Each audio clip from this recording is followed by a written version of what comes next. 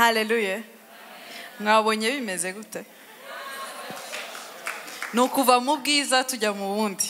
Haleluya ndagira ngo twakire umubyeyi wacu yegere hano imbere.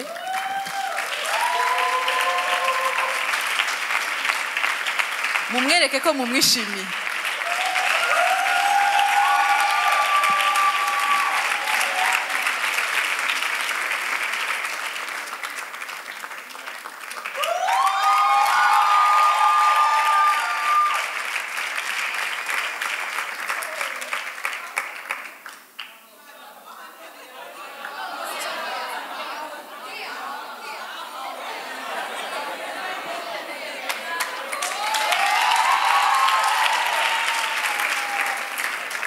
Haleluya tugeze umwanya mwiza w'ibibazo noneho ubwo abatatanze ibyabo baze gukomeza babitange umwanya nuboneka turabigeza ku mubyeyi abasubize. Haleluya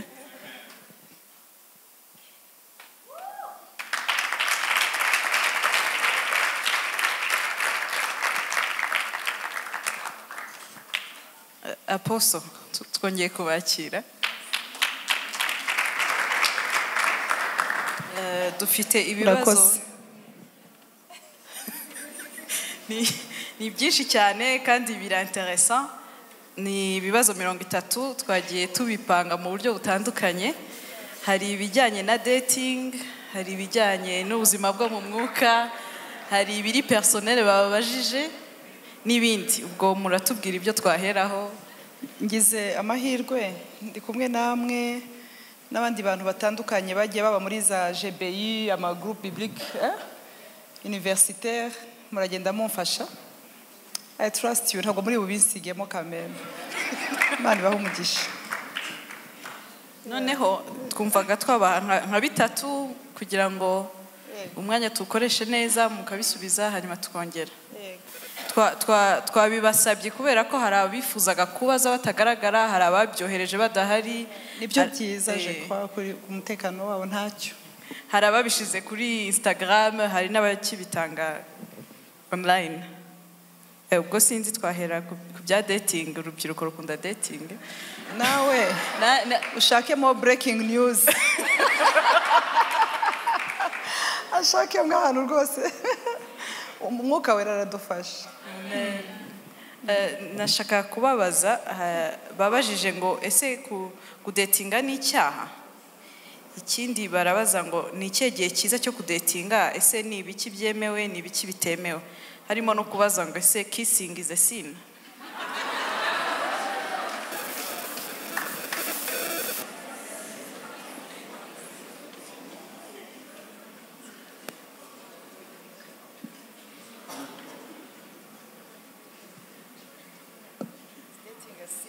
dating a sin Eh, ikindi ngo what is the right time to date? What is allowed to do and what's not? Uh, is, is kissing a sin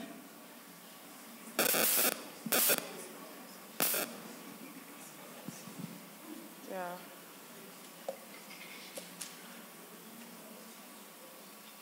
dushobora kugenda tuvuga kuri kimwe kimwe ndibaza ko ntacyo iyi topic is very interesting eh? sibyo? Ira ni nziza. Ibya mbere ni uko kudetinga cyangwa se dating mu kinyarwanda twabyita ngo iki se ntabwo ari icyaha rwose. Ahubwo kutabikora twakuvuza. Ntabwo dating. Ya uretse no kuvuga ngo dating even admiring.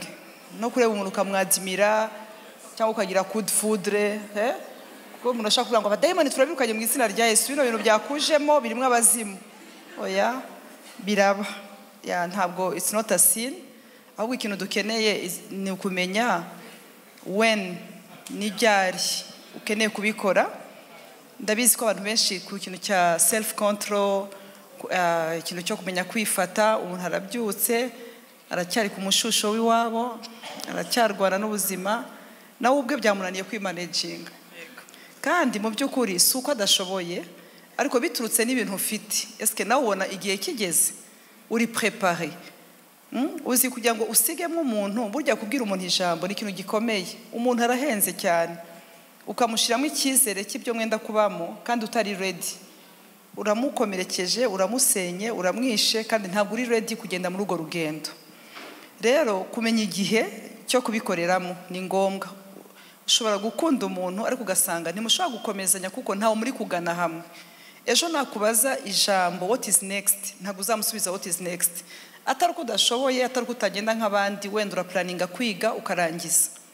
Uri mu mwaka wa mbere wa universite cyangwa se urarangiza secondaire nawe wenda vuba hanyuma ufite izindi plans noneho ugasanga ugiye kujya mu bintu byo gutangira kwikorera umuntu igihe kitaragera nibaza ko igihe nyacyo ntabwo njye navuga imyaka ni igihe nawe wumva uri prepare.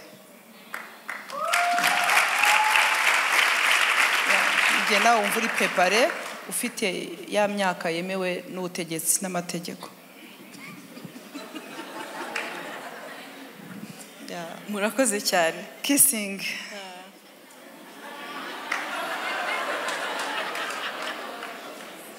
Ariko mwaretse kwanza kissing tukanza tukayikura muri biriya byo gufata ururimi ukaruhuza n'urundi. Kugira ngo kissing na yo tutayita nabi tu- tutayipfobya sibyo tutayipfobya tukayigaru- tukayihuza n'umuhungu n'umukobwa bahuriye munsi y'igiti bihisha ababyeyi bagahita bakurana ku munwa direct. Sibyo siko bimeze? Uretse ubundi ijambo kissing embrasser bon narikuza nkaritwara no muri worship. Bibiliya avuga ngo musome uwo mwana kugira ngo atarakara. Uriya mwana bavuga ninde ni yesu. Mumuramye mumukunde mumwubahe kugira ngo atarakara. Kiss him. Urumva ko ibyo bivuye muri gahunda sibyo ya clement wahuye na claudette. Ya. Ariko noneho ndabyumva kissing muri muravuga nyine esike ibintu byo kuza tukarebana mu mwuka tukagira distance ntumusome ntumukoreho. Ikintu ngiye numva nababwira nigeze kumva testimony rimwe nzamutumira ah, yatubwiye ukuntu yakoze mu ntoki umukobwa bendaga kubana amukora ku ntoki ngo ahita arahunga. Yumva amashanyarazi yamusuhuje gutya gusa. Ngo yumva atekereje uburiri atekereje aho bagiye kuryama aravuga ati mana isirayeli ntabara aha hantu mpacike kuko bimeze nabi. Ni ukuri iyo ukunda umuntu iyo ukunda umuntu kandi by'ukuri biri genuine. Ni ukuri niyo mpamvu bibiri ivuga ngo hunga. Guhunga ni uko you- tu tu peux pas résister hari ahantu udashobora kuresista. Siko bimeze?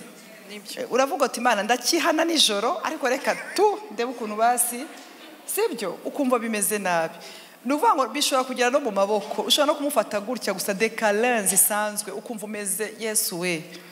Biramugenze ngo ohohoho Eh, noneho ukumva.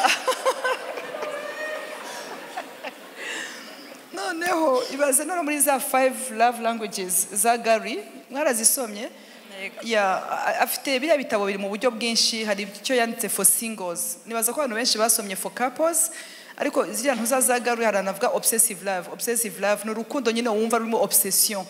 Ukumva birarenze. Kandi biriya bintu by'ibishanyarazi iyo ugeze mu rugo ukabibura hari igihe ugira ngo ntimugikundana muba mukundana. Ariko bitakimeze nk'umuriro ugurumana. Rero vraiment murabizi na hormones. Bwamugeze ku hormones. Iyo ugiye kumusoma rero urazicokoza. Mm, bigahera aha?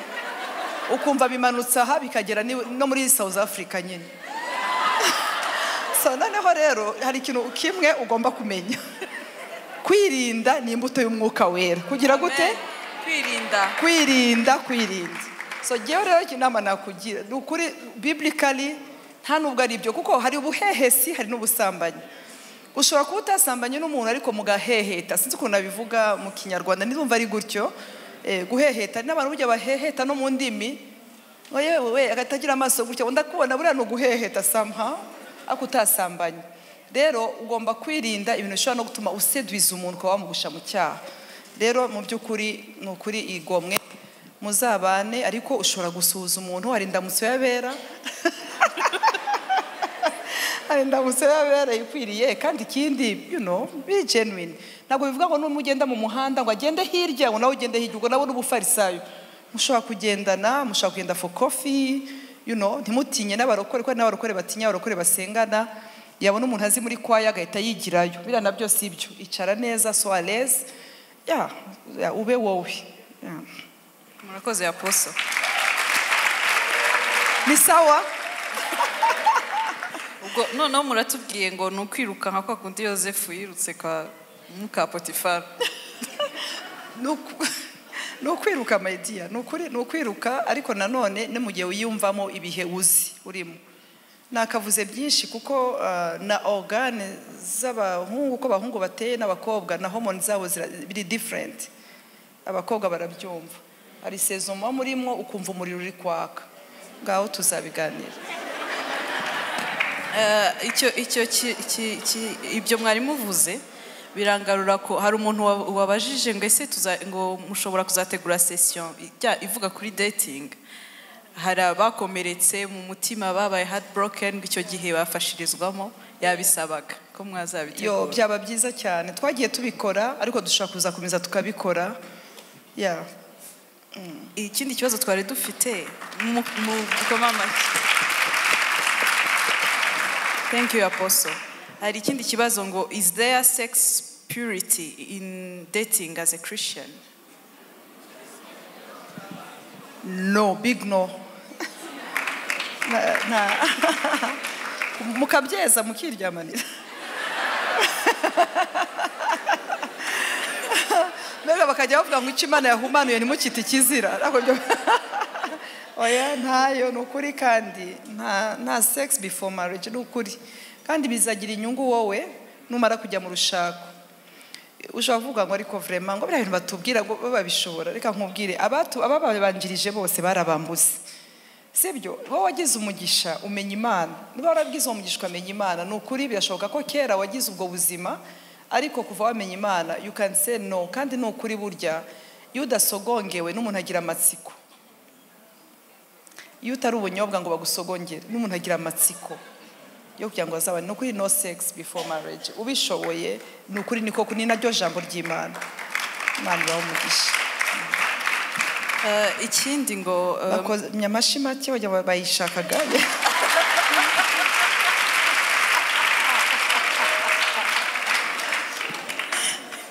ikindi ngo eh, masturbation ni icyaha nka sex?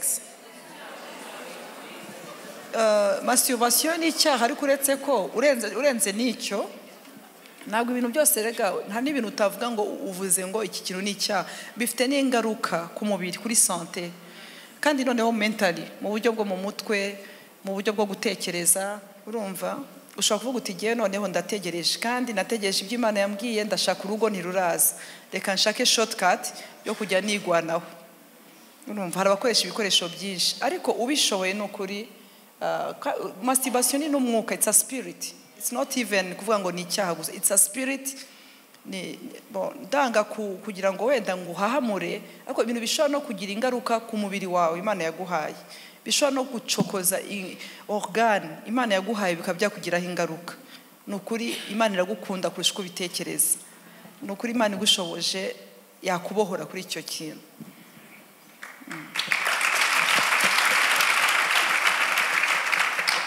Aposo hano hari uwatubajije ngo ese kujya muri club house parties eh, gu- gusohoka ni icyaha? Reka mbivuge neza.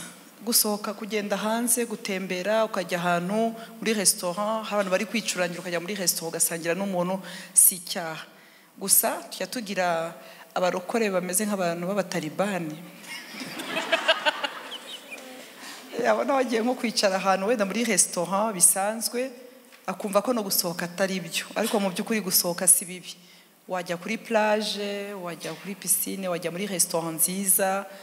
Ya ukajya muri resitora niki ku bijyanye na club. Njya nkunda kubwira abantu iyo imana yakuhamagariye kuzaba umunaziri. Umunaziri ni umuntu wagombaga gukorera imana. Keretse niba udafite gahunda yo gukorera imana. Ariko umunaziri ni umuntu yagombaga gukorera imana.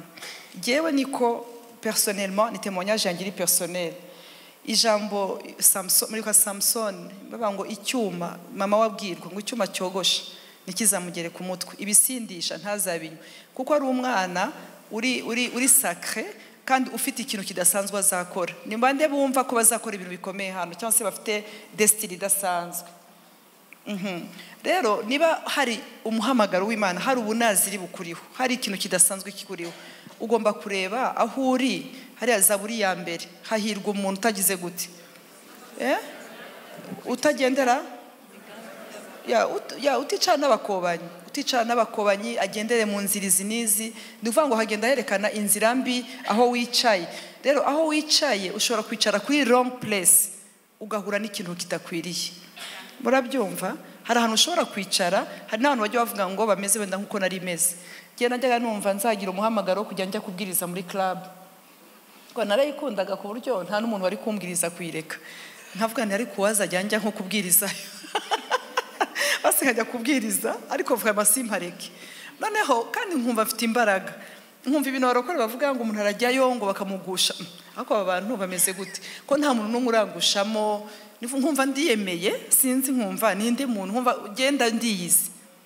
Ariko rimwe ndibuka nagiye ahantu muri fellowship nko ku mu rubyiruko hanyuma abaririmba barabura abantu batandukanye nda volunteeringa hari abantu bazindutse ubu kurusha wenda borganije noneho nda, nda volunteeringa nda, ndaririmbisha ndanezerwa. Reka rero abantu bari bari aho bansange muri club.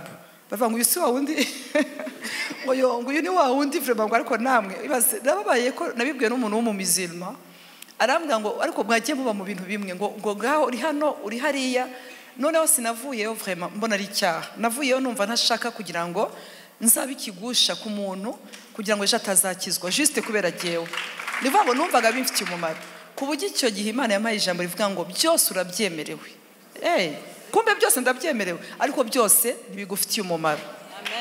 Eh? ntabwo bigufitiye umumaro. Ni ukuvuga ngo it's for you to choose. Niko impamvu biravuga ngo hitamo. Urahitamo ibi ubona ibyiza. Urahitamo ikibi ubona ikindi. Ya buriya ntihazakubeshe umuntu mwahuriye ku nkuru nziza. N'uwo mwahuriye kuri club.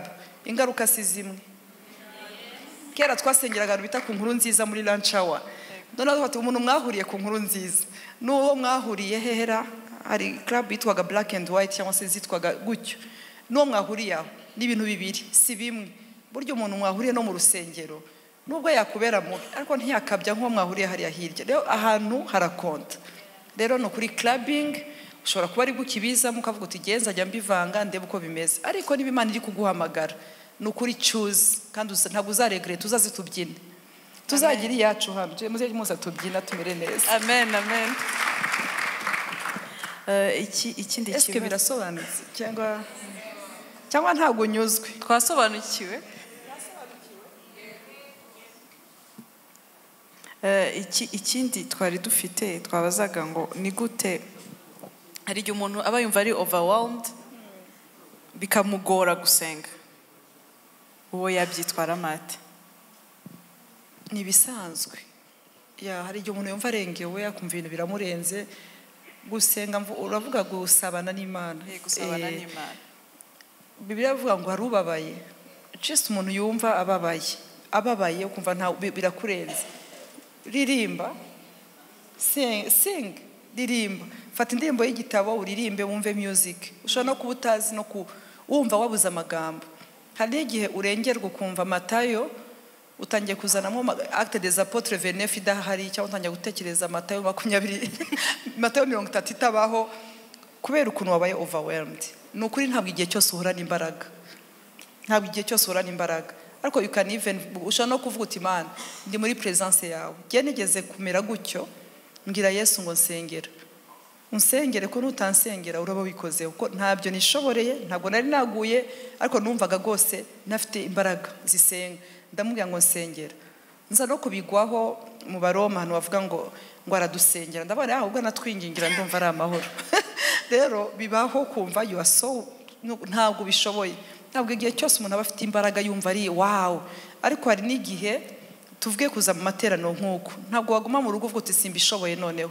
Ugomba kwi- kwitoza self discipline ukavuga uti nubwo numva ntafite rya jambo rivuga ngo rimwe dawidi yavuze ngo naranezerewe nguko bambwiraga kujya mu nzu ya data hari igihe rwose umuntu aba atanezerewe pasita ariko hari igihe uza kubera duty ukavuga uti kameme nk'umuntu wakijijwe. Iyi ni duty i have to ni discipline.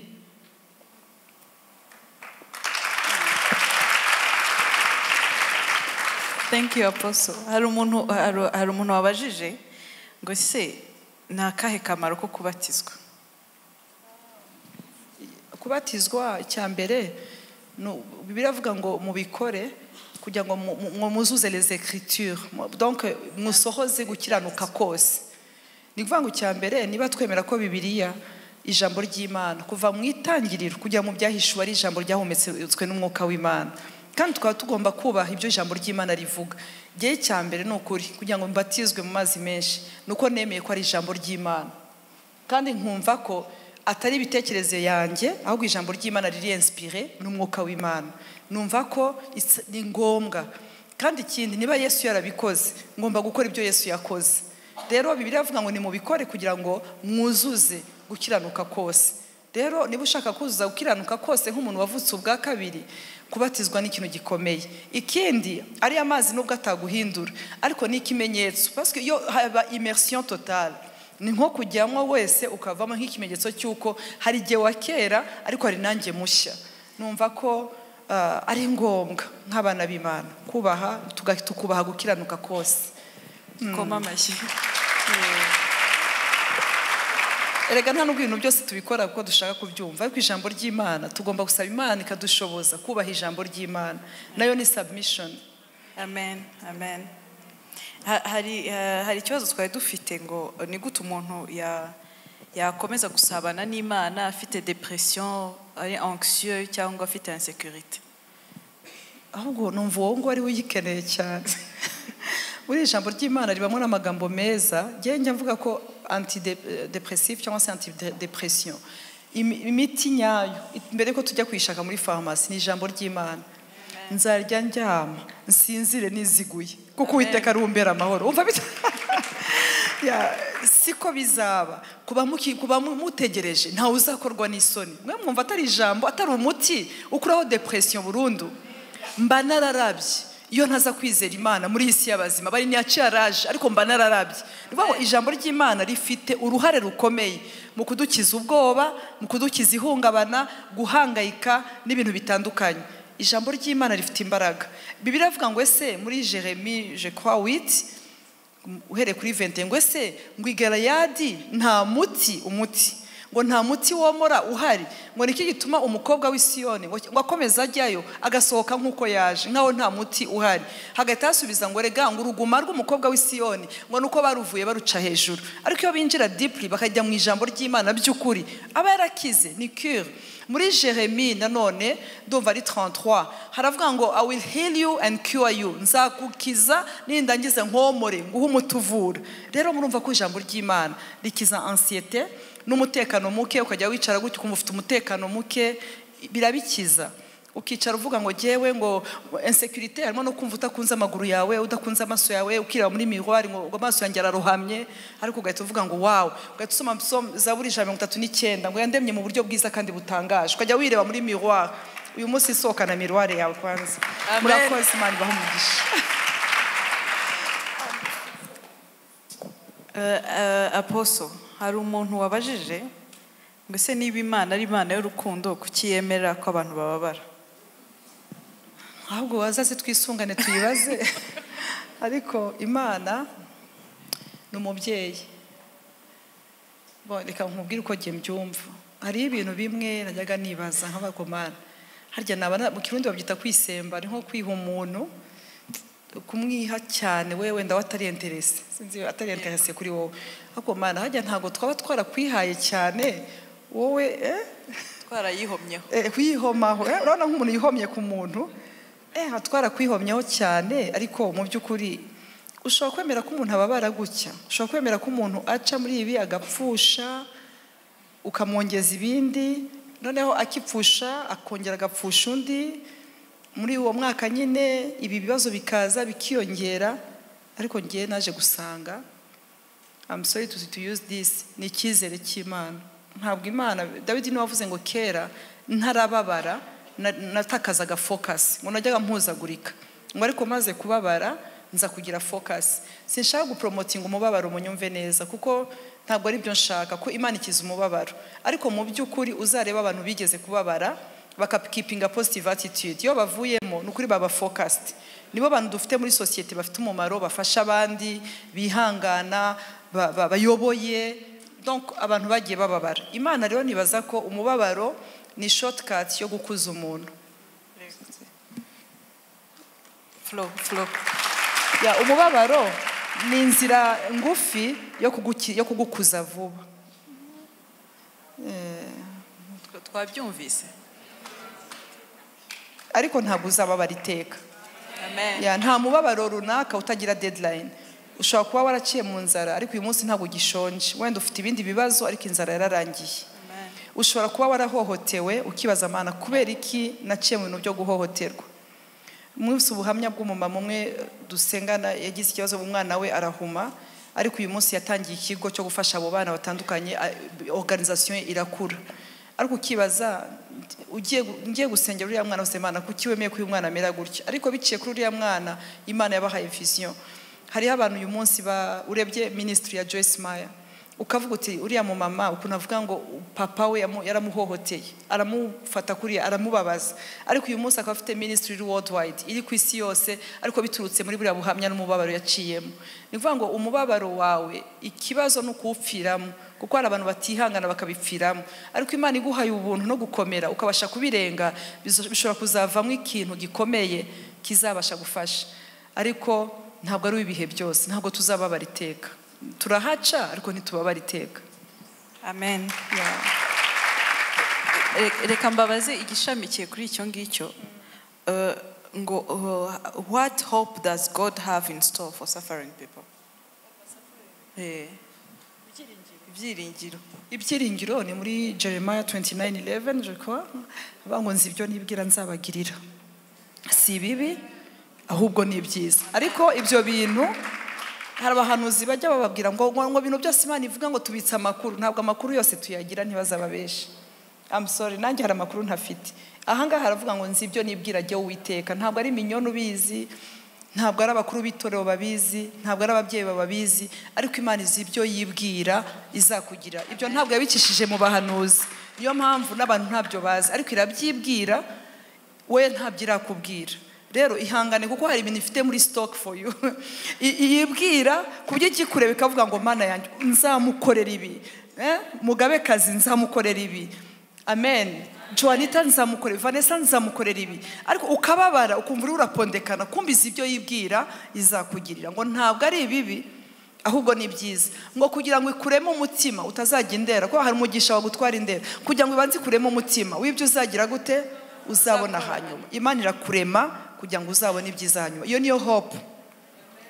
Iyo niyo hope. Aposo hari uwatubajije ngo ese ngo imana ishobora gukoresha umuntu unywa Gukora- imana ishobora gukoresha umuntu ujya ufataho kamwe? Umva se imana ikoresha n'igikona kidafite ubugingo. Yakoresha amabuye yakoresha ibiti. Ngende ibuka nigeze guhura n'umuntu wasinze arampanurira. Arambwira ati imana irambwiye ngo ngo kuki ufata hamwe? Imana ariyo irampamagara kugira ngo nzaze muri full time. Abahanuzi barahanuye abantu bose mbega narakwebye. Noneho mpura n'umuntu wanyoye imana yari yanyoye. Seriyezima arambwira ngo ndabona ufashe ahantu hamwe ku giti ngo ariko udafashe ahandi. Ndamureba. Ariko nakumva inzoga yari yanyoye zavaga nk'ahariya hirya zikansanga. Ariko arambwira ati imana irashaka ngo ufate neza burundu. Ambwiye nahise numva ko imana imutumye ku buzima bwanjye. Uwo nguwo rero na cya gikona cyagiye muri eliya kimuha inyama kiragenda gitransporta byose. Hariho gukoresha gukoreshwa n'imana boreka mbivuge neza. Umubyeyi ashobora kubyara akagirana isano n'umwana yabyaye ariko badafitanye ubusabane. Rero abantu imana yaremye bose ifitanye nabo isano ishobora kubakoresha ariko ntibivuga ko bafitanye ubusabane. Rero si inzoga gusa hari na kamere hari n'utuntu twinshi cyane dushobora gukupa ubusabane bwawe wari ufitanye n'imana. Ariko bitavuga ko imana itagukoresha. Amen amen amen. None se aposo ngo ni gute twarwanya ariko kiriya gikona nta bugingo gifite? Kugira ngo mbivuge neza. Kiriya gikona cyagaburiye eliya kizajya mu ijoro. Ko mutansubiza? Ah, ntabwo impanda ivuze ntaho cyajya ariko cyakoze umurimo mwiza. Rero imana yashaka ko twe dukora umurimo mwiza ariko impanda ninavuga tukazajya mu ijoro Amen. Wow. Uh, none se apostle ngo ni gute twa how, how do i fight my generational curses? Ni na gute nabona deliverance? Eh, ya karande eh, imivumo ya karande ni eh, ni gute umuntu yabohoka. Ah, abantu ntabwo babo- babohoka kimwe kuko icya mbere tugomba kwidantifiya inkomoko. Buriya ikibazo kiba muri foundation cyangwa se mu mizi. Niyo mpamvu na cya giti yesu yavumye cyabanje cyumira hehe mu mizi. Rero deliverance hariho abantu babona deliverance koko akayibona bakamusengera akaba arabohotse ariko ntabwo ari garanti y'uko usubiye mu bindi hadashobora kuza ibindi. Kuko muribuka ya, ntuza ngo, ngo yarabohotse donc do- dayimoni irasohoka isohotse mu muntu. Ikagenda igashaka ahantu hatagize iki? Hatari amazi. Ahantu humye ni ho ijya Mu- dayimoni ikunda ahantu humye ahantu hatari ubuzima. Niyo mpamvu ugomba kuguma mu busabane n'imana. Kugira ngo dayimoni ntikwibyineho uragenda igashakisha ahantu hari amazi sorry ikayabura ariko ikagenda izunguruka iri gushakisha ahantu hari amazi ishakisha uburyo na yo yakwirwanaho. Ariko ngo iyo ugiye igakomeza ikabura ahantu hose ikabura isubira muri ya nzu yari iri clean ikongera ikagaruka ngo yasohotse umwe ariko akaza akubye inshuro zirindwi. Nibaza ko deliverance nta muntu utayikeneye. Ariko ugomba kubanza ukamenya ndinde ndinde mva kwande mva hehe? Bimeze gute. Ariko twese iyo umaze gukizwa ukemera kuba muri kirisito yesu uba wahinduye identity. Hanyuma rero uruhare amen rw'umwuka wera mu buzima bwawe no kugenda guhishurira ha hantu ubohewe. Burya ntabwo tuboshwe mu bintu bitandukanye. Ariko hari bamwe baboshwe mu busambanyi abandi baboshwe mu gukenyuka abandi baboshwe mu bintu bitandukanye. Ariko hamwe no gusenga no kuba muri presence y'imana hamwe no gusengerwa n'abakozi b'imana imana ishobora kugufasha ukabasha no kubasha kwidantifiya cyangwa se umuntu w'imana agahishurirwa ikintu kibosha ubuzima bwawe. Ni mu nyigisho ni mu buryo duterana nk'ubu umuntu agenda amenya.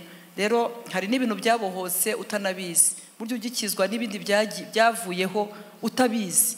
Nta mukozi w'imana ugusengera no muri worship. Ejo nahoze mbwira abantu ukuntu worship ifite imbaraga zikomeye. Ndumva nabibwiraga ba pasiteri mbabwira ukuntu hari ukuntu tutamenya power of worship. Burya ijambo rijya kumanuka hano. Hari imyuka n'imizimu yavuye mu bantu n'ibintu byarekuye ubuzima bw'abantu birenze. Ariko ijambo rikaza noneho rikatwoza. Uko rero twenda tuba mu ijambo tukarihishurirwa niko tugenda tubohoka. Ariko nakavuze byinshi hari na cure d'âme. Eh, buriya cure d'âme buriya ijambo deliverance nabuze uko mbivuga cure d'âme na deliverance buriya kugenda ukibuka ahantu ibintu wagiye ucamo. Iyo uri kuvuga hari n'ahantu usanga ari ibintu wibutse. Burya rero cure d'âme ishobora no kuba 90% kurusha kwirukana imyuka mibi. Eh, kuko kwirukana imyuka mibi ni ibintu bito. Ariko kugira ngo uvuge niyo mpamvu ushobora nk'ubu uri kuganira n'umuntu ukumva umuntu abaye nk'usubiye muri cya gihe yabayemo. By example nk'umuntu wahohotewe. Ariko muri uwo muravuga bigasa nko ya acte yamubayeho mu myaka mirongo itatu ishize biriho biramubaho uwo mwanya. biturutse mu kuvuga gusa akaba yagenda akabohoka. Noneho ukaza kumusengera ariko yavuze bya bintu byamuvuyemo. Rero imana irabohora kandi turasaba kugira ngo ijambo ry'imana rikomeze ritubohore. Amen amen.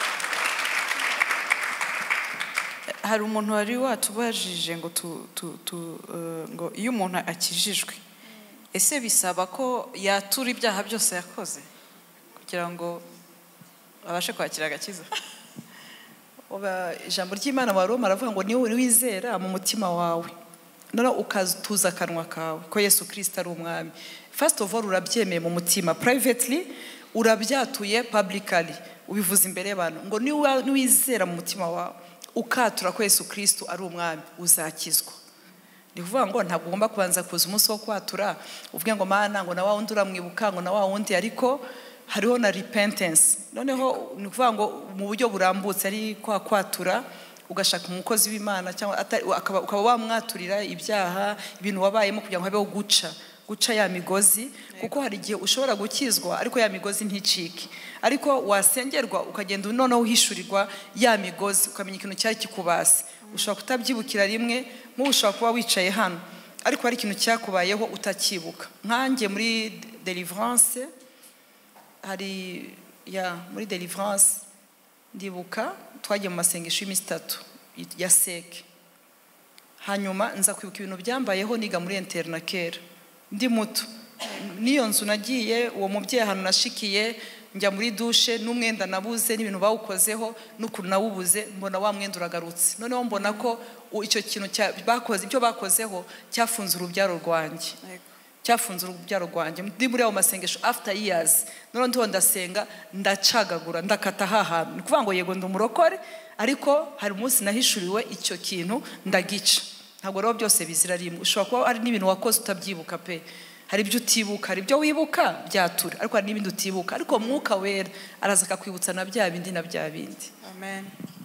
Haleluya duhe imana icyubahiro ni ukuri. Hano hantu turiho turasubizwa kandi n'uwumva twamwibagiwe ibi- ibibazo biracyahari turacyakomeje. Haleluya Eh, ha- hari uwatubajije ngo ese ni gute umuntu yakira ibikomere? Akibana n'abantu bamukomeretsa. Ah. yatari gukira ibikomere ukibana n'abakomeza kukujomba. Birashoboka birashoboka. Buriya reka nkubwire. Igihe cyose uhora ureba abantu bagukomeretsa nabo baba babonye tene bahora bakandagira. Eh, si byo? Njya ngendera kuri iriya example ya yesu ukuntu yagendeye hejuru y'amazi. Nkavuga ni igihe cya mosi barasenze amazi aratandukana. Haruma baratambuka. Ariko yesu yagendeye hejuru y'amazi. Ntakubeshe iryo hame riramfasha. Njye iryo rya yesu. Ryo kugendera hejuru y'amazi. Njye ntabwo ngenda muri bimwe bya mosi ngo ntegereze mu ya nyanja itandukane ngo tugende ahantu humye. Gendera hejuru y'ibyo bintu. Imana iguha ubuntu bwo kugendera mu bibazo hejuru y'ibibazo bigihari.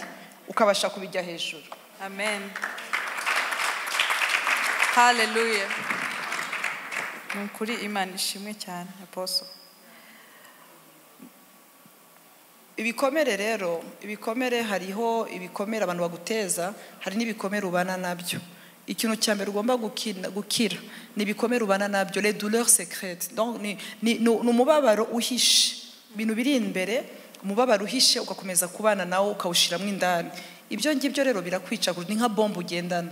Ariko imana igutabaye ikagufasha ukabasha kubihagararamo neza imana yagufasha ugakira ibyo. Nawe ibyo utezwa n'abantu aho uzaca nubwo wakwimuka ukavuga uti mvuye mu rwanda ngiye muri canada abagukomeretsa bariyo. Ahubwo wahitamo uko ugomba kuba muri sosiyete irwaye n'abantu batandukanye. Eh, none se aposo nk'umuntu ufite inshuti famiye badakijijwe wowe yabitwaraho ate abantu badakijijwe. Eh, ufite famiye idakijijwe kandi wowe urakijijwe ufite inshuti zidakijijwe wabitwaraho ute? Rero abantu ba- abantu badakijijwe dufite dufite ihame tugenderaho ni ukuberera imbuto.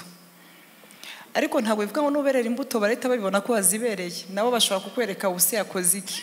Niho abarokore benshi bacikira intege ngo nakoze ibintu byose nabereye imbuto nakoze ibi ntibanyemera barampinga barandwanya. Wowe iyo uteye imbuto urategereza ko imbuto urayitera ugategereza ko izashibuka. Se- igihe itarashibuka bazakomeza bagupinge. Ariko umunsi yashibutse bazajya bavuga ngo yo kuki abantu bose batameze nka vanessa watwereye imbuto iki gihe? Byagenze uku n'uku n'uku. Rero biba bigomba kwihangana long suffering. Kuko kubana n'abantu mudafite kwizera kumwe ntabwo wamubwira amatayo utangiye umubwire ngo bazabona ishano.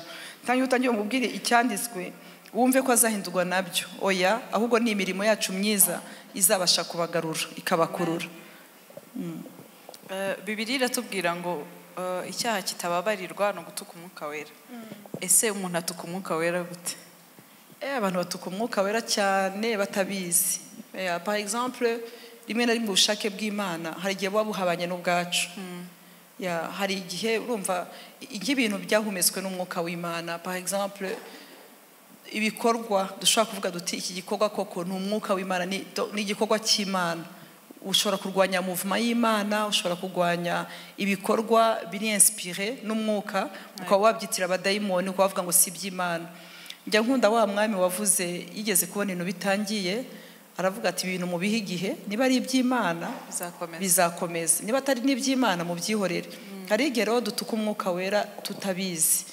Ni imirimo yose ishobora gukorwa n'imana i- iri inspire n'umwuka wera iri inspire n'ubuntu bw'imana. Rero bibiri iravuga ngo utuka data utuka yesu azababarirwa. Ariko utuka umwuka wera ntabwo azababarirwa. Keretse ibaye topic ndende ariko umwuka wera mana we use wamutuka ko ari we mufasha dufite ko ari we twahawe bikagenda gute. We need him. Amen.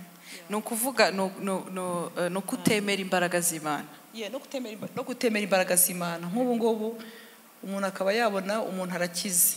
Umwuka wera aramukijije. Akavuga ati imana yarankijije ati biriya ni abadayimoni wabona ari ibintu by'iki gihe. Ugasanga harimo umwuka wo gupfobya n'imirimo y'imana. Ariko umuntu akumva ko fait ko ari umuteologien le fait ko ari umuntu umaze igihe kinini mu idini habaho n'igitangaza umuntu agaterana igisebe kikuma akavuga ati biriya bintu noneho ni maji. None se aposo ni ukuvuga n'uwo utabizi ntazababarirwa kandi yabikoze Oh, atabizi. no, no, no, no, no, eh, nibaza ko nibaza ko it's a, it's, it's a long ni topic nini n'abantu benshi bakunze kudisikitaho cyane mu buryo bukomeye bakavuga ati ese nk'umuntu udakijijwe apinze ibintu? Ntabwo azababarirwa. Bibiliya avuga ngo imyaka yo kujijwa kwacu. Imana yarayirengagije fete muri bibiliya harimo ibyo byose. Hari igihe umuntu ashobora gupinga ibintu ataramenya. Noneho imana ishimwe ko tubimenye ubu. Eh, ntabwo tuzongera Yeah, reba nka example ya Ananiya na Safira. Burya batutse umwuka wera mu bikorwa.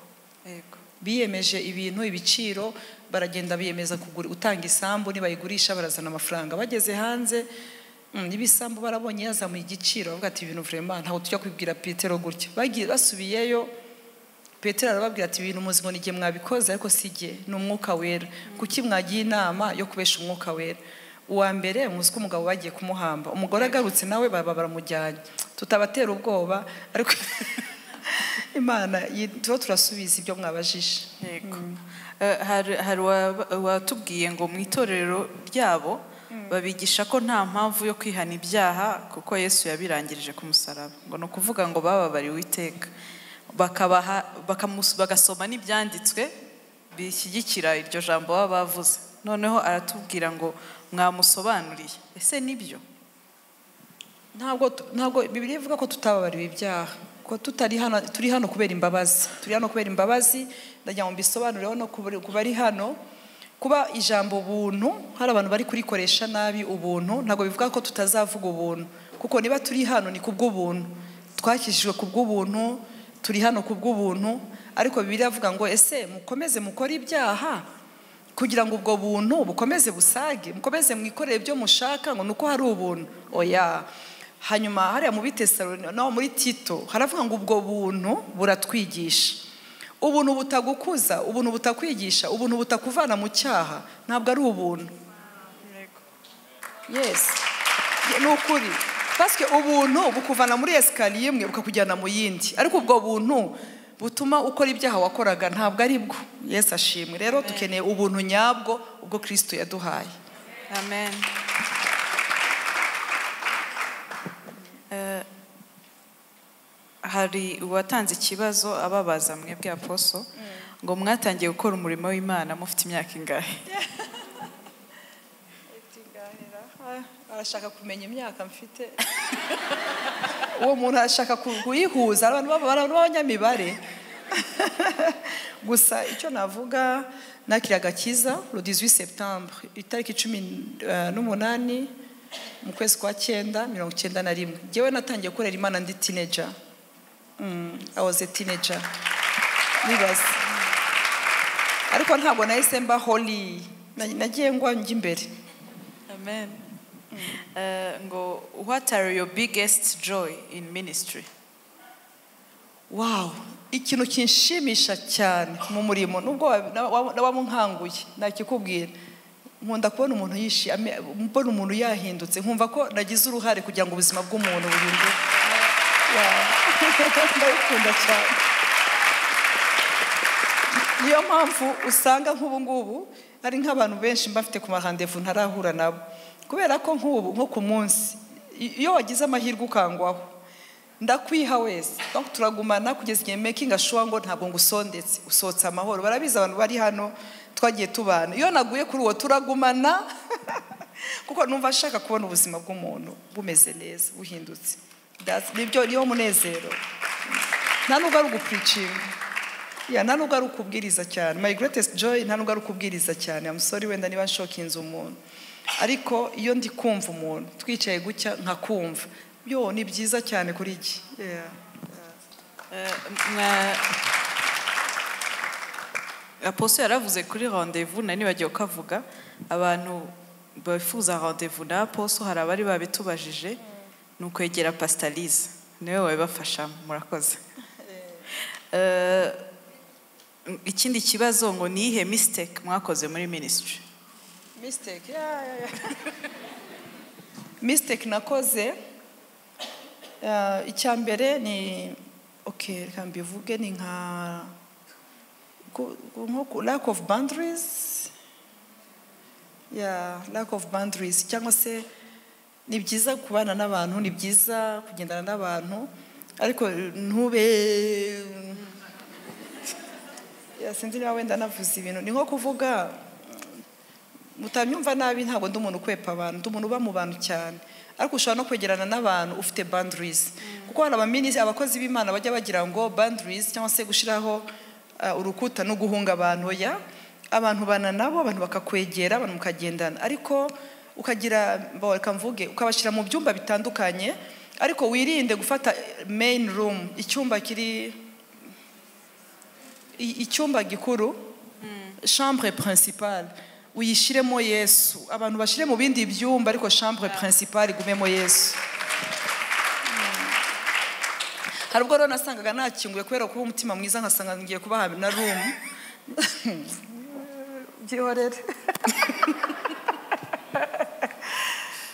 icyo kikaba kitujyanye ku kindi kibazo ngo uh, who do pa- who, who abapasitori especially you mu, muhanginga out n'abandi who do you hang out with? Jye rero sinzi nibabaza nikundira ibintu bya quality time. Njyewe njyana n'abajene nkajyana na girls impact. Nkajyana niko kuri. Nkunda na girls impact cyane kugira ngo ntazasaza. Nkunda nka kujya. Donc ibintu nk'ibyo ngibyo ni ukuri sigakora Abama- abamama bari muri mirongo inani. Hari ubwo ngenda nkasura abamama bari mu mirongo icyenda. Tugeze gukora ibintu byo kujya guhura n'abamama babaye i gahini bafite imyaka mirongo icyenda n'ingahe. No guhura n'abamama b'abakecuru. Ntabwo babita abakecuru ariko ni elders ni abamama bakuru ariko abo bantu mugahura. Ariko mu buryo bundi ni byiza iyo uri mu murimo w'imana no kugira abandi bantu muri bujyane hanze ariko ntimusange muri kuvuga ngo waparumu donc urabona hari igihe usanga uri kumwe na same people babandi nyine ariko ni na byiza rimwe kugenda for coffee mu gitondo ugahura n'umuntu uri muri private sector umuntu uri muri tourisme niba ufite vision ya hotellerie ukajya kugana nawe uka- muka- mukavugana iby'ingagi. Urabyumva ibi bintu? Sibyo ya kuko ushaka kujyana n'umuntu ukavuga ngo week. Donc ugasanga ni byiza niba dutindana ariko ni byiza no kugira abantu ah, mushobora kuganira mu- mugiye kuganira ku buzima busanzwe. Eh, sibyo?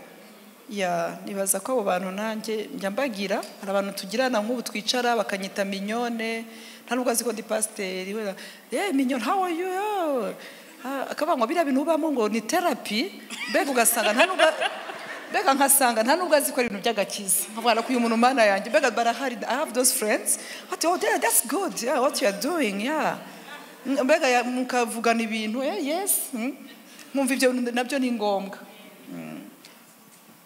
Eh, hari uwatubajije ngo ni hehe umuntu yakura aba role models beza eh, mu bijyanye n'urukundo cyangwa leadership? Mbese mwabamo mufite mwebwe? Njyewe mfite mfite spiritual father ya archbishop kitonga ya ni umuntu uma- umaze amaze imyaka hafi mirongo itandatu mu- muri minisitiri ariko ikintu kinsetsa niyo tuganira wabavuga kugaruka kwa yesu. Mbega ukuntu impanda igiye kuzavuga n'umugisha kuri jye. Kuba mfite umuntu unyibutsa yuko aha turi nubwo tumeze gutya atariho tuzagarukira. Kandi uri successful. Yeah. Murakoze. Ibibazo biracyaza buriya. Ndabona keveya. Ah, so. Hari uwa- uwabajije ngo what can church members do to support and encourage pastors? Ariko kuba role model nari ntararangiza. Ni ukuvuga ngo hari spiritual father ni kubera ko hari umuntu waruje ya hari spiritual father ariko nanone hari n'abantu muri rusange. Ntabwo ari kuvuga ngo ni aba parents ntabwo ari spiritual parents ariko hari nka couples. Sibyo usanga ari nka couple inshuti ya couple yacu. Ariko tureba ko kukabona vraiment hari ibyo baturusha hari hari values za marriage bafite kuturusha. So we learn from those people. Tuba tubafite mu buryo butandukanye. Nk'ubundi pasiteri ndashaka kujya gufungura nubake ihoteli sibyo ntabwo nzajya gushakisha umuntu wirukana imyuka mibi utazi field ya business. Ni ukuvuga ngo azamfasha no muri iyo field. Ariko cyane cyane ugize amahirwe ukagira abantu bakijijwe. Imana ibaha umugisha. Ngo eh, ngo ese iyo abantu bavuga nabi itorero cyangwa abashumba tujye tubasubiza ngo iki? Ye- Jyewe rero ukuntu mbeka mvuga uko mbyumva. Wenda buri wese afite jyewe uko mbyumva njye numva abo bantu mutagomba no gusubizanya nabo. Kuko nta nubwo bibiliya itwemerera kujya impaka kujya impaka nabo kuko ni byo baba bashaka. Kuko uratangira ujya impaka nawe noneho urangize. Sinzi umuntu watwigishije kare. Ndumva ari jeni yatubwiye ngo umuntu iyo ari hejuru amanurwa vuba n'uri hasi. Ni ni jeni ngo uwo muntu uri hejuru nubwo ari hejuru cyane uri hasi ngo afite imbaraga zishobora kukumanura. Hari igihe umuntu aguhamagara ngo uzaze tujye kuganira ngo twicaye tuganire kuri bariya bapasiteri. Urumva hari ibindi bintu mwaganira birenze abapasiteri. Ngewe mvuze ukuri na biriya bintu tuvuge kubona nk'abakozi b'imana not me nk'abakozi b'imana ukabona umuntu ni nka ni n'ibintu bimushimishije ni na division yateye mu macaces ukumva ko bari baravuga pastor kuko atari pastor wawe ukumva ntacyo bigutwaye. Ukavuga uti okay yoza ko ari kuvuga apostle nari kubabara because she's my pastor. Ariko ubwo ari undi mu pastor it's okay which is not true. Tugomba kubaha ab'imana yasize. Ah, ntunezerwe ko iwanyu ari amahoro ariko undi mushumba ujye no kureba ibyo baramuvuga. Agiye ku bwanjye ni ukuri biriya bintu hari ibyo openinga bakabikohereza utazi n'ibyo ari byo kuko amatitire agiye aba atajyanye n'ibirimo. Noneho ugasanga wabirebye. Ariko ni ukuri numva ntabireba nongere ngo mbyohereze undi mbyohereze undi. Ahubwo mba ndiho ndamaketingira satani.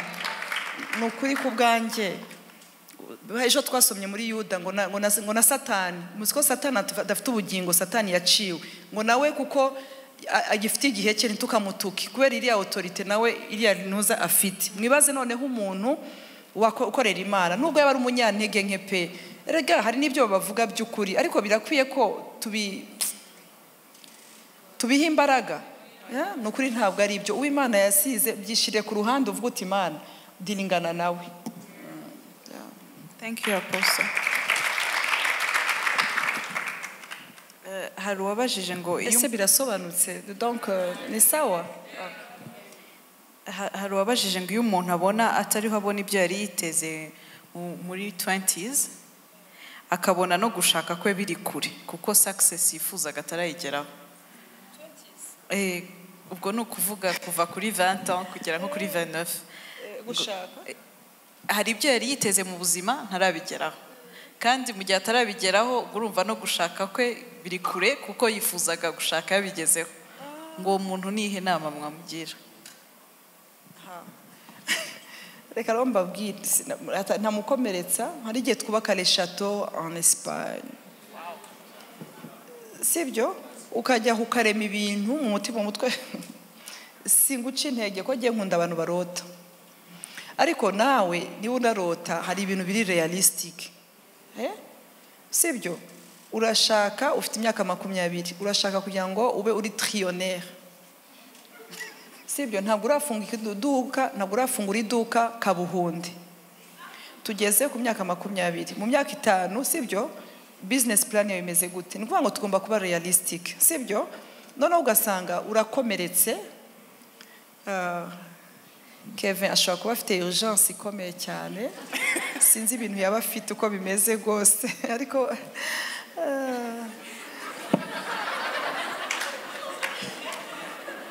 ya- tubibaza abari kumutuma baze kugerageza. Barebe ukuntu bajya babizana niba ari ibyifuzo babimuzanire cyangwa bimwohereze imana ibahe umugisha. Amen. Nagiraga ngo ibibazo tutarabisoza niba hari abari muri assemble bifuza kubaza bashyira akaboko hejuru hanyuma tukabaha umwanya nabo bakabaza.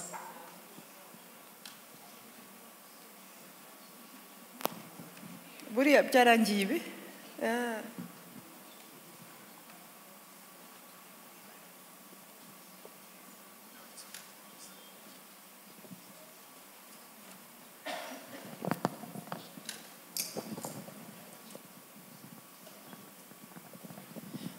mu by'ukuri ubundi byari kuba byiza bagenda babyohereza kugira ngo bibe selective. Ariko ubwo bigiye kumera gutya ntacyo. Ariko ubundi ukuntu dukoresha sisiteme kubyohereza ariko nta kibazo. Murakoze. Um, ni ikibazo ni umuntu twose tuganira muri iki cyumweru wagira ngo wenda nzi ko tuzahura ndakubaza kwari ukuganira ariko birangira nta gisubizo kibonetse. Ah, bavuga ko muri bibiliya ah, mu tangiriro ngo wibuke kweza umunsi w'isabato. Ariko mu by'ukuri usanga abantu basenga bitandukanye. Ku wa gatanu ku wa gatandatu cyangwa se ku cyumweru. Cyangwa se like saturday and sunday. Nitubikoresha mu nyarwanda biraza kuzamo ku isabato bitewe n'abaribo ariko na byatumye nsigana ikibazo cy'amatsiko. Bavuga ko ukora iminsi itandatu. Umunsi wa karindwi uhari imana cyangwa se usenge cyangwa se uruhuka. Ariko twe dufata ko ari ugusenga. Babaze iyo minsi itandatu. Ikibazo cyasigaye turi babiri tuganira. Bahereye kwa kangahe? Bavuga ngo ni umunsi wa mbere. Kuko usanga usenga ku wa gatanu avuga ngo niwo munsi we wa, karindwi cyangwa se wo kuruhukaho. Ugasanga wo ku wa gatanu cyangwa se ku isabato niwo munsi yita wa karindwi. Wo ku cyumweru nawe akavuga ngo ni uwo ku cyumweru. Bisigara tuvuga tuti ninde uri mu, kuri mu gusenga ku munsi wa karindwi by'uku- by'ukuri? Ku ruhande rwanjye ndakavuga ko nabyumva wenda niba hari uko bihura cyangwa se nawe ndagiye kuri pati njye numvaga uko mende yanjye yambwiraga ntabwo bahereye ku munsi runaka bavuga ngo ni kuwa kabiri cyangwa se ni kuwa mbere. Ahubwo ni iminsi itandatu bitewe n'igihe wenda batangiriye gukora kuwa mbere. Hanyuma witeho ku cyumweru kuri wowe akaba ari uhu- uruhukamo impamvu nabivugaga yari iyihe? Kwari ukugira ngo uwo kuwa gatanu atagongana no kuwa gatandatu. Cyangwa se ku cyumweru akagongana no ku ku cyumweru. Gutangira umunsi ngo ni kuwa mbere cyangwa kuwa kabiri igihe batangiye kubara numvaga atari ngombwa. Njye niko nabyumvaga. We rero we wabidusubije we akadefanda avuga ngo kubera ko muri bibiliya havuga ngo ni ku isabato. Ngo basenga ku isabato nibo bari mu kuri. Mu by'ukuri aposo uh, Bo, ikintu navuga kugira ngo tu- tutaza kujya cyane mu bintu by'amadini n'ibindi ah, ndashaka kugushimira. Ni uko ufite inyota kandi wumva ushaka kumenya. Ariko mwakoze sigaye mbona babaka amazu bakavuga ngo ni 4 in 1 bakavuga ngo ni 4 in 1 mu by'ukuri isabato dufite ni kirisito yesu. Yesu ni we sabato yacu. Sibyo bishoboka ko dimanche ishobora kunsanga. Sindi umupasiteri nyobora hano dimanche. Kandi nteranira hano kandi ngomba kubaha iteraniro ry'abera. Nkaza guterana igihe mpari. Ariko ntabwo bivuga ko igihe na voyage dimanche ndi mu ndege. Sibyo ntari kubaha isabato. I have my christ i'm with him kandi ni ukuri arakora muri jyewe 24 hours. Yesu ashimwe. Amen. hanyuma iriya minsi itandatu wa mugani aho wahera hose icyo nzi cyo ni uko iminsi itandatu imana yabaye bizi ikora. Ariko umunsi umwe iraruhuka. Amen. ndavuga ngo n'iminsi yo kuruhuka ni mikeya. Ni umwe abantu bajya bavuga ngo mwaretse tukiruhukira ngo tukirira ngo tukabaho. Iminsi yo kuruhuka ni uyu. Ariko indi he was busy iri gukora. Rero ni ukuri vraiment mureke tumaximize tugire imirimo myiza ariko ugire igihe cyo kubaha iteraniro ry'abera. Wajya gusenga samedi ukajya mu badventiste b'umunsi wa karindwi mwaba mufite aho muteranira ku wa gatanu nijoro mwaba mufite aho mujya ku cyumweru ariko wubahe iteraniro ry'abera. Iteraniro assemble ubamo ugire igihe cyo kuvuga uti fone nayifunze ngiye guterana. Abantu rero basigaye barafashe iminsi irindwi yose bayiha akazi ariko babura wa munsi wo kugira ngo bereze uwo munsi werezwe uwiteka. Bavuge ngo uyu ni umunsi w'uwiteka. Rero tuvuze ku masabato mu by'ukuri ah, bose bafite ukuri. Kuko n'abariya iriya minsi ubaze uko yakoraga urasanga ari kuriya. Ariko byaba samedi byaba dimanche mureke tugire umunsi w'isabato tuweze. Isabato ni akaruhuko dukeneye akaruhuko kandi isabato yacu ni kirisito ko ni we watugezemo turaruhuka. Eh. Murakoze. Aposo Nibaza. hari umuntu wabajije ngo ngo ahorana ubwoba bwo gukundana kandi ari mukuru. Ntawe utinya icyo atabonye. reka duseke gatoya ntawe utinya icyo atabonye niyo mpamvu buriya gukunda uri muto. Reka mbabwire nk'ubu umaze imyaka makumyabiri n'itanu sibyo mu rushako ibaze nk'ubu iyo uza kuba nsubiye inyuma nk'ubu ukaza mbega ntarashaka ukaza ukaza kundiraga nk'ubu nakuzuminga sibyo abantu bakiri bato baba batararuha batekereza ibintu cyane ariko uko ukura niko ubona. Umuntu uri siko bimeze uramenya umuntu aza yigize ukuntu ukaba wamaze kumufotora kera. Imana itabara abakuze. So urumva ko afite ubwoba. Azaze tumusengere ubwoba bushire. Abo, abo, abo ngabo barahari pe. Mm, barahari urumva abafite umuntu waje birapfa uyu n'uyu byagize gutya kandi yagiye abibona. Hari ukuntu umuntu aza agahita areba igikomere cya kera akaba ati, "Uyu avuga nka runaka ameze nka runaka ugasanga barafite ubwoba. Namusengera ngo ave mu bwoba. Hari hari uwabajije ngo ese eh, umuntu w'umukristu biremewe gucuruza inzoga kugira bizinesi yo gucuruza inzoga? Cyangwa se niba afite ako kazi mu gihe atarabona kandi yaba akagumyemo? Njyewe numva nkogeyeho ku giti cyanjye nk'umukristu. Wavutse ubwa kabiri. Ibintu ntemera nabigurisha se ibintu ntanywa ibintu ntakoresha. Naba ntanywa itabi nkarigurisha. Eh, naba ntemera ikintu nkaba avuga ikintu gishobora uretse no kuvuga ngo n'iby'ubugingo gifite icyo cyanyisha nkagitanga. Ariko ntabwo bivuga ko umukristo atakora muri bralirwa. Sinzi wenda. Sibyo ntabwo bivuga ko umukristo atakora muri bralirwa ko kampani ntabwo ari iye. Ni umukozi nk'abandi bose ufite kontra y'akazi. Kuko wenda n'abandi bavuga ngo mu izina rya yesu nabonye akazi ngo muri sikoro ngo ntabwo ndi bugeyo. Oya wakora? Ariko nanone numva ntakora mu kabari ngo njye gusavinga inzoga ndi umukristo. Ariko iyo ugiye kure ukajya muri ya maresitora akomeye ari hanze abantu bakora mu maresitora bi- biterwa na ntuza bagenda bakoramo si ibyo? Ariko ibintu byo ngo natangije akabari kanjye ndi umukristo. Hmm? Ntabwo ari ibyo ko nakora mu ihoteli zitanga nakora ahantu hatandukanye so biterwa n'ubusabane ufitanye n'imana. Kuko wenda mukristo ninde se hari uwarayabijemo vuba ya- yicaye aha kandi yaje afite akabari. Sibyo rero ni process banza usabane n'imana na yo izagufasha n'abakozi b'imana bagufasha ariko numva ntatangiza akabari. Ndi umukristo. Yego. Haleluya Ha- hari uwabajije ngo umuntu urakara vuba agatongana kandi akijijwe. Yabikira ate? Yabikira gute? Mhm. n'imana irarakara. Ngo ntukarakare ngo ariko ngo birinde bigize gute? Eh, rirenga burinde bwira. Eh, ariko buriya imana ntabwo irakara. Ariko ngo itinda? Kurakara. Ariko wowe ni ibintu bya kamere. Rero ukuntu umuntu yabikira ni anga ni nk'ubu- nk'uburakari umujinya kamere ingeso za kamere zimwe ziri mu bagaratiya gatanu. Sibyo ndibaza ko ari byo yashatse kuvuga. Ya dufite amarangamutima turababara turarakara tugira ubwoba tugira ibyo bintu bitandukanye.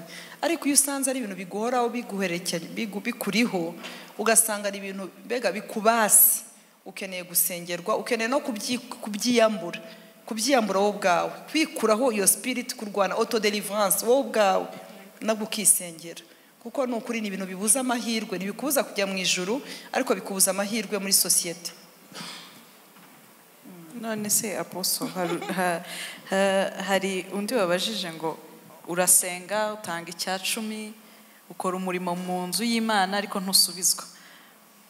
Wabigenza gute kugira ngo ugumane imbaraga zo gusabana n'imana? Nta muntu udasubizwa burya ahubwo ntiyasubijwe icyo yashakaga. Sibyo sibyo pasita Eh, buriya nta muntu utarasubijwe. Kuko ushobora gutanga icya cumi ugakiranukira imana ukagira gute imana ikakurindira impyiko. Ushobora ya. Ushobora gukora imirimo myiza mu nzu y'imana ukayikora gusa nk'umwana w'imana. Imana ikakurinda n'ibindi bintu ikabyigizayo ntibikugereho. Sibyo ariko hari n'ibindi bintu ushyira imbere y'imana ukavuga imana ni ukuri ko mbona burokaje burokaje iragaragara. Nakoze ibi nakoze ibi nakoze ibi. Niba koko bitameze nk'aya mazi kwini yatweretse hari amazi yanteye ubwoba. Ariya mazi bashyiramo ibintu. Niba atari iyo mpamvu ukabona burokaje ku buzima bwawe. Keep praying. Kandi uzi abakozi imana bagusengera ni ukureka nkubwire. Ni igiti kiri gutemwa munsi kizagwa ariko ntabwo kigwa ku gihe cyawe. Ariko i can assure you ni jani iri shuwa ntabwo ushobora gukiranukira imana ngo izakwirengagize. Izakugirira neza. Amen. Ndashaka kumva amashi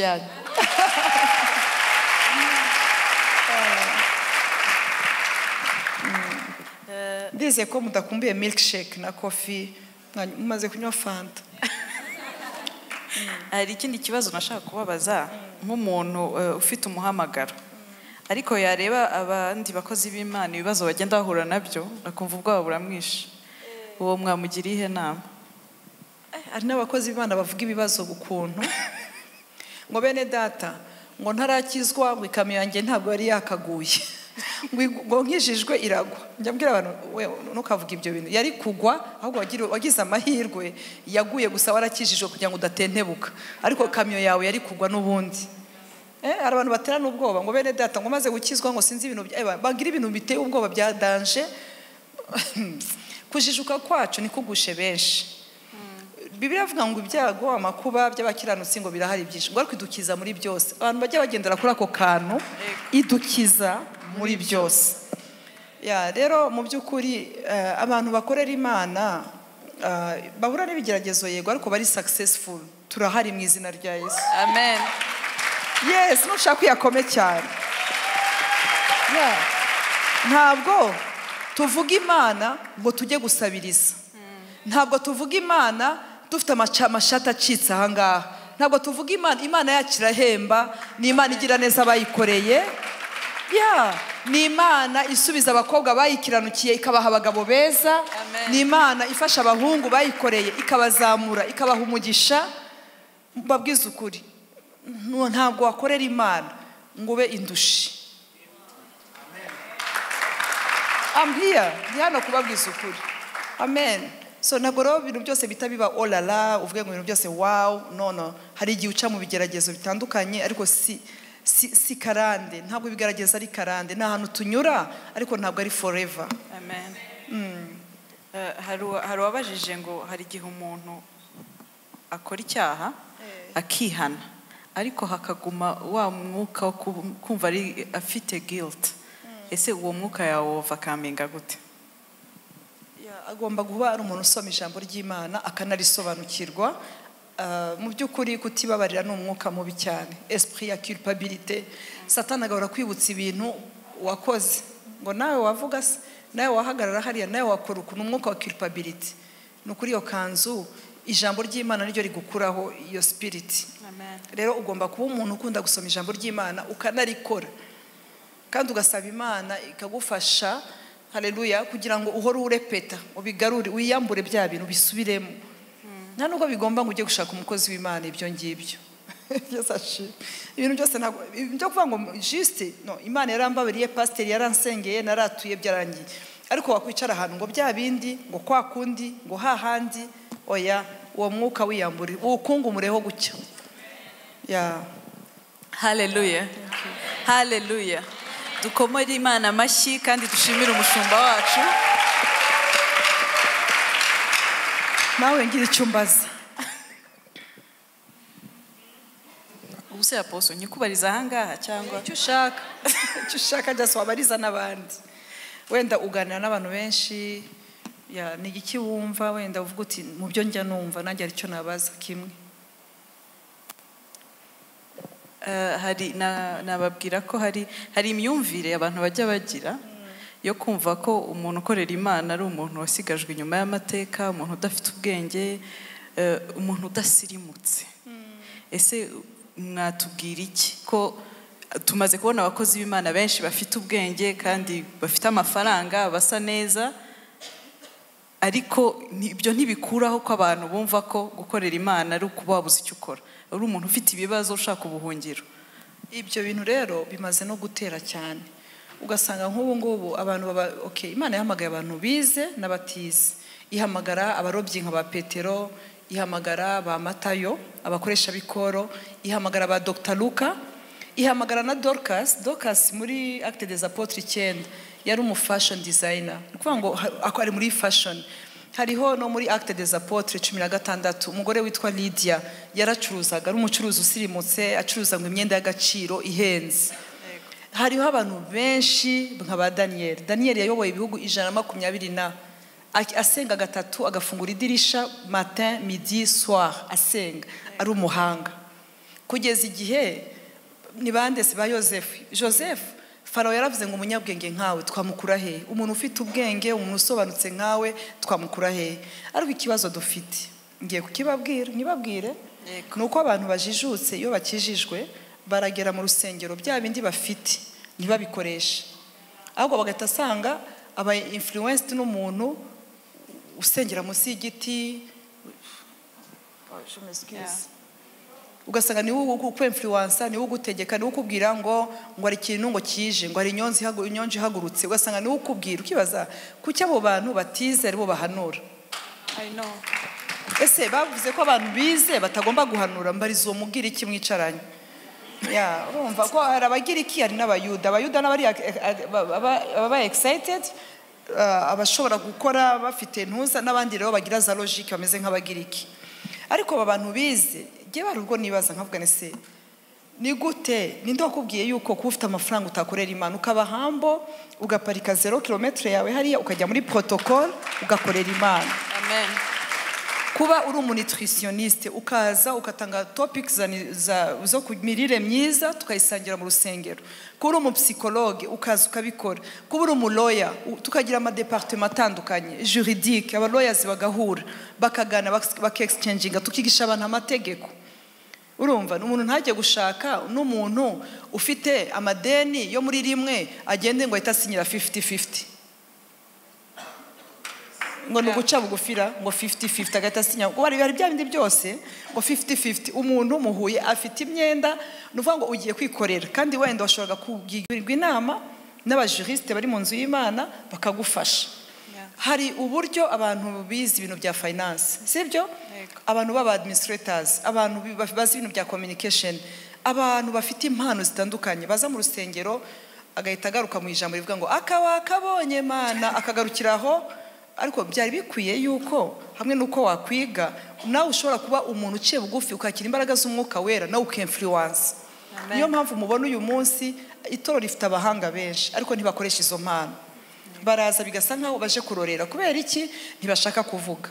Mubabwira kuyobora gahunda ntibaziyobore. Wa wundi we wimereye nka petero siko ba petero bahubuka. Akaza akavuga kandi akabashobora pe. Noneho ugasiga wibaza natanga kugira umuntu duca intege umuntu twabanye burundi ari gusenga rimwe numva ari gusenga nk'umunyamurenge. Ariko ngenda wabatuye minembwe kwavuga ntuzi. Aho tuyaye niko nabasengeyemo igihe kinini. Ni byiza which is good it's very good. Ariko nanone ni gute bishobora no guhindura ururimi? Ukabasanga uri uravuga wenda uko utakagombye kuvuga. Yagize ngo niko basenga. Yego. Eh, mana rero uzoza ukora. Ndamubona ariko ntabwo ari ku- ntabwo ari rwo rurimi rwawe. Ariko yagize ngo kugira ngo imana imwumve agomba kuvuga gutyo. Noneho rero niko ni kimwe n'abantu ba- baza ukavuga twese turabivuga nanjye ati wibitseho nza twaba tuyobeho byavuye tukabiterura ngo ni nza. Ese nza ni iki? Ibaza umu intellectuel yaje ukamubwira nza. Wowe ni nza gusa ukeneye yamenye ibintu. Rero dukeneye ubwenge. Dukeneye ibyo? Turabikeneye ibyo. Kuko biratuvura ariko dukeneye n'abahanga. Dukeneye n'abahanga. Dukeneye n'abantu baza bagashyiraho za powerpoint hano bakatubwira bafite za lunette zimeze gutya bakajya bazigira uku tukabyumva. Urumva njyewe nagiye mu- mu- muri eglise imwe new york njyana n'umugabo wanjye n'abandi bantu b'inshuti ze twari turi kumwe ni umupasiteri witwa dr. Bernard ari hariya ya Times Square noneho arigisha kubera ko amenyereye banza ndi icyo gihe kera nta nubwo nabifashijwe yaricaye gutya mbona aradusinzirije nk'uko mukunda babashusha nka genereta noneho rero aba intellectuel siko bamera noneho arangije aravuga akajya yandika eh ya this is it eh, umugabo wanjye aravuga ati nabaho ndafashijwe nsanga ibyanjye ntibimufashe. Kumbe afashwa na bariya bameze kuriya. Rero reka mbabwize ukuri. Dufashe ari abo ari abakangurambaga ari abameze gute? Inzu y'imana. Ah, iremwo bose. Iremwo bose. Uba umusirimu ariko kandi umusirimu ntabwo ari ukwambara buringi buringi ku manywa. Nabyo tuzabyiga. Kuko ushobora kujya ahantu ugasanga ugiye mu basirimu kubwiriza. Wa- waba utambaye kajo simati bakavuga bati uyu nawe arakabya ni mukabya rero se yaje akabisha ibintu bimeze gute? Urumva? So we need to know the, the crowd. Tugomba kumenya crowd dufite abo tuba turabwiriza abo duhura nabo bose tukabafasha. Imana rero idufashe kugira ngo abo bantu tubazane. Thank you apostle. Wabwire uti birasirimutse birimo ba vanessa birimo ba nawe ishirembo n'abandi benshi. Murakoze cyane. Imana ibaho ni umugisha ukuri dukomere umushumba amashyi. N'abari kure turabashimiye. Tumushimira ko yadusubije. Ni ukuri yatuganirije. Ese mide pasita mwayikunze? Ubutaha tuzajya gushaka aho turara. Imana ibaho umugisha. Thank you so much. Mureke tumukomere amashyi tumushimire. Imana imuhe umugisha.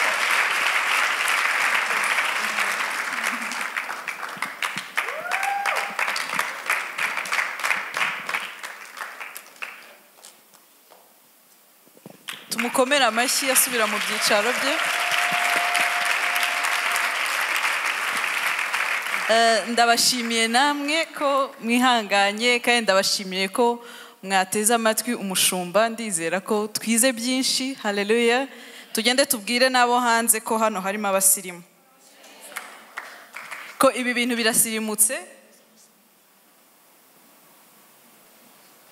Ese hari abifuza gusengerwa wenda? Bifuza isengesho riri sipesiyare cyangwa mumeze neza vrema reka dusabe aposa dusengere. Ushobora gutera intambwe niba wifuza isengesho sipesiyare harimo bamwe bazavoyaja wenda next week harimo bamwe bazasubira mu mashuri harimo abandi bafite ni byinshi cyane. Ariko mushobora kuza tugafatanya n'abandi bakozi b'imana tukabasengera. Ya hashobora no kuba hari umuntu uvuga uti genda umva ashaka gukizwa. Ni bande? Yumva ashaka gukizwa wenda yaba yaje ariko asanzwe adakijijwe. Oh, imana ibahe umugisha. Barahari? Ni muze rero babandi bashaka gusengerwa ndibaza ko hmm? eh barahari Ah.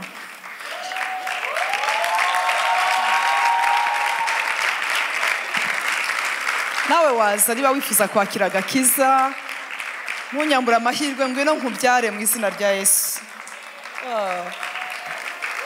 Ngwino ngwino ngwino ya imana ibaha umugisha ngwino ngwino nawe uri online hari abo twabanye kare bagiye bagenda kuri gahunda bafite nawe ushobora kuba uri mu nzira aho waba uri hose wapfukama eh, ndabubwira abari online ushobora gufata pozisiyo ariyo yose aho uri. Eh, yego si ngombwa ko mupfukama si ngombwa ko mupfukama nabwiraga n'uri kure ariko pozisiyo yose wakora. Subiramo uti mwami yesu ndakwizeye. Umbere umwami n'umukiza w'ubugingo bwanjye. Mvana mu gitabo cy'urupfu unshire mu gitabo cy'ubugingo. Umbabarire ibyaha byanjye byose. Ibyo nibuka n'ibyo ntibuka. Amaraso yawe yesu wavuye ku musaraba i Golgotha anyoze anyeze antunganye. Ndakijijwe mu izina rya yesu. 아멘.